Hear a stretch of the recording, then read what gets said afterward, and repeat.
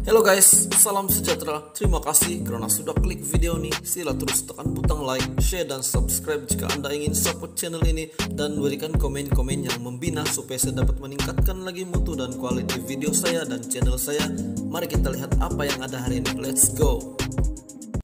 Salam sejahtera dan selamat petang semua. Kali ini saya akan menyampaikan satu info berkenaan dengan selebriti di Malaysia yang sekarang yaitu Syuk Curang benarkah? Tajuk berita, Farah Saleh mengaku skandal dengan Syuk Sahar sudah berakhir.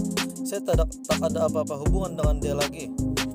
Takut dengan berbagai ugutan daripada individu tidak dikenali, wanita yang didakwa menjalankan hubungan sulit dengan penyampai radio Syuk Sahar tampil membuat laporan polis bagi mendapatkan perlindungan keselamatan.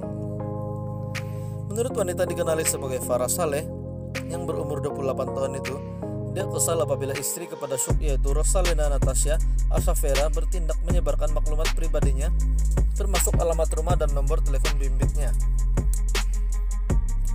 Beliau menerima bermacam-macam ugutan menerusi WhatsApp, call, termasuk ada yang ugut nak bunuh. Sebab itu saya terpaksa buat laporan polis. Ia berlaku selepas video saya dimuat naik di media sosial katanya kepada Imsta pada Ahad malam.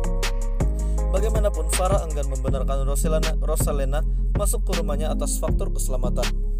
Katanya lagi, saya diserang dan dipaksa buka pintu, tapi saya minta dihubungi Jabatan Agama Islam Selangor dan polis biar pihak berkuasa yang periksa rumah saya.